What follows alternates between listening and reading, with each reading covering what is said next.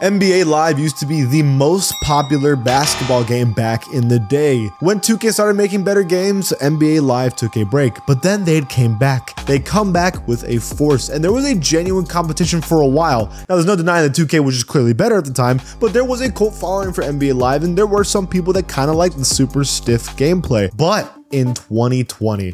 NBA Live decided to take a break and they told us that they would be back. Well, today it is the first time we've been updated with NBA Live news and I'm to cover it in today's video.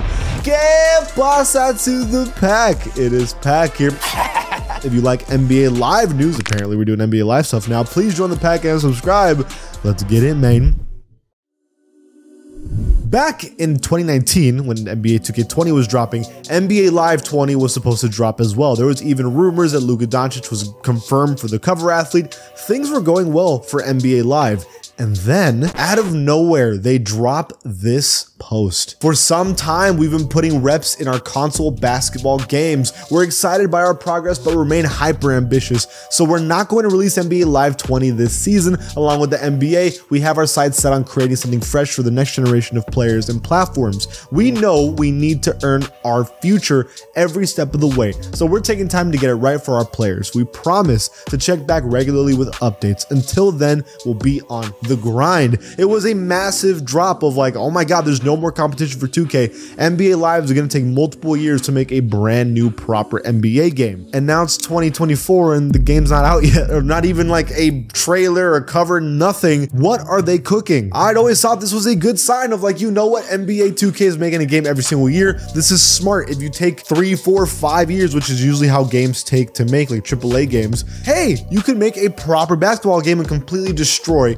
2K. Because let's be honest, NBA Live, although some people liked it, was just not good. It wasn't good. It, it didn't feel good for most players. But we've waited and waited and waited. And today, NBA Live, or I guess technically EA, drops this post. Let me read it to you. It's in the game. Sorry.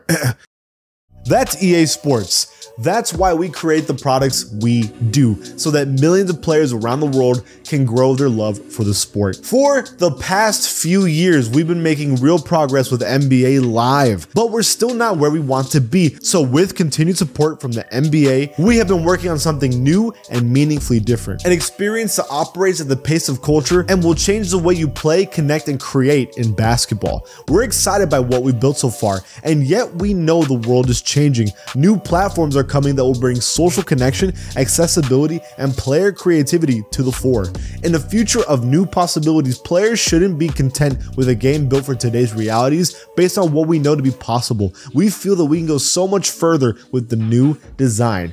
So we are not launching a new NBA Live HD product this season. Okay, there's a lot to unpack here. The biggest thing is that one, NBA Live is still being worked on. This is not just like a rumor. This is from EA themselves. We are still making NBA Live and we've been working on NBA Live. The second most important thing is what they're implying. They have mentioned that there are new platforms that are coming, and that was today. The PS5 is already out. Are they saying that they're making a game for the PS5 Pro? Or, and this is what I've honestly am getting out of this, it seems like they're focusing on VR. It really is implying to me that there's future consoles coming out that are probably going to have some kind of virtual reality that they're going to try to do. They already stated that they're going to do a different approach than 2K and what NBA Live was doing. They want to do their own thing. VR is their own thing.